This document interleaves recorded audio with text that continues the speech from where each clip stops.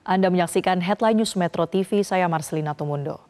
Hingga kini Demokrat belum menentukan sikap akan ke mana partai tersebut bergabung dalam koalisi pengusung capres setelah keluar dari koalisi perubahan untuk persatuan. Wacana Demokrat akan bekerja sama dengan PDIP dianggap ada persoalan yang memerlukan tim khusus untuk menyelesaikan masalah perasaan dan psikologis Megawati dengan SBY. Koordinator juru bicara DPP Partai Demokrat Herzaki Mahendra menanggapi tidak hal tersebut dan menganggap tidak ada kendala dalam hal itu. Kerjasama itu akan tergantung dari komunikasi antara generasi penerus kedua partai. Namun di sisi lain politisi PDIP Masinton Pasaribu mengatakan biarkan proses berjalan menunggu keputusan antar kedua partai.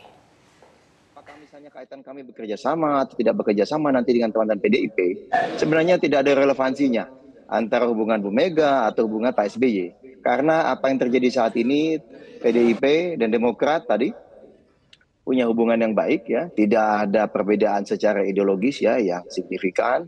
Lalu Pak SBY juga menyampaikan secara tegas dan jelas, Ibu Mega tidak pernah jahat kepada Pak SBY, tidak pernah jahat kepada keluarganya Pak SBY. Ini kok bicara pribadi gitu. Nah yang ketiga yang paling penting ya Bang Mansinton ini kan uh, dan saya ini adalah bagian dari generasi baru gitu. Ya kan? Boleh bang ya? Bilang generasi baru ya bang Masinton ya? Betul. Ya kan?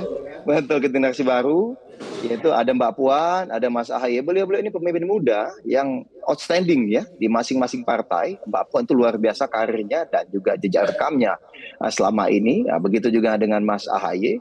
Nah, bicara mengenai kerjasama ke depannya, mau kali ini misalnya di Pilpres terjadi atau tidak, atau ke depannya nanti ya ada kerjasama, ya ini ada kaitan antara bagaimana relasi Mbak Puan dan Mas Ahaye sebagai uh, pemimpin muda, pemimpin dan harapan uh, ke depan untuk kedua partai ini gitu. Jadi ini tiga hal yang bisa kami sampaikan dalam menyikapi uh, tadi yang disampaikan. Apakah ada kendala atau tidak? Bagi kami kendala tidak ada.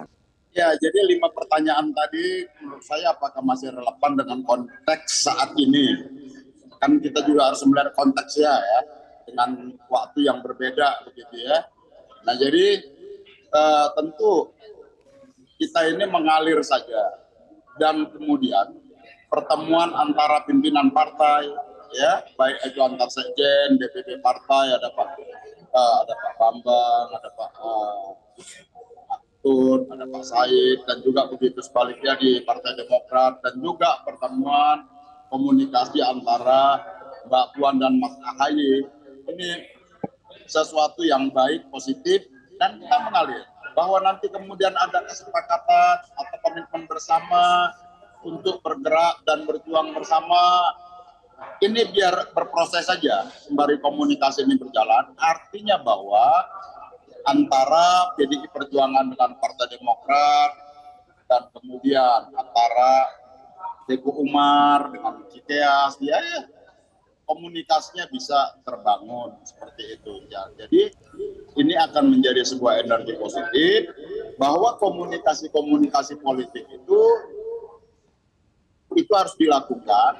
Dan Baik. kemudian bahwa nanti keputusan dari atau kesimpulan dari masing-masing komunikasi apalagi menjelang pilpres bisa berada dalam uh, mengusung calon presiden yang sama ya alhamdulillah baik. Dan kemudian jelajahi cara baru mendapatkan informasi. Download Metro TV Extend sekarang